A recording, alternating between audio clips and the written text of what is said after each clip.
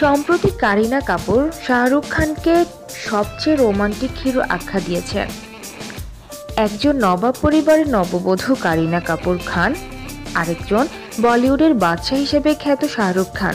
বেশ কয়েকটি সিনেমায় জুটিবদ্ধ হয়ে অভিনয় করেছেন তারা। সম্প্রতি একটি অনুষ্ঠানে শাহরুখকে প্রশংসায় ভাসালেন কারিনা। এই অভিনেত্রী বলেন, আমি মনে করি শাহরুখ খান ভারতের সবচেয়ে বড় রোমান্টিক হিরো।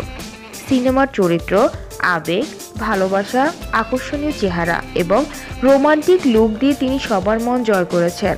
আমি তার সঙ্গে গল্প করতে খুবই পছন্দ করি। তিনি খুবই আন্তরিক এবং সৎ। তার সঙ্গে আমাদের সম্পর্ক খুবই মধুর। বর্তমানে আনন্দ এলো রায় পরিচালিত নাম ঠিক না হওয়া একটি সিনেমা শুটিং নিয়ে ব্যস্ত শাহরুখ খান।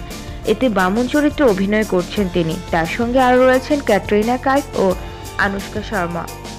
আর বর্তমানে বিরেডি ওয়েডিং সিনেমার শুটিং নিয়ে ব্যস্ত কারিনা কাপুর খান।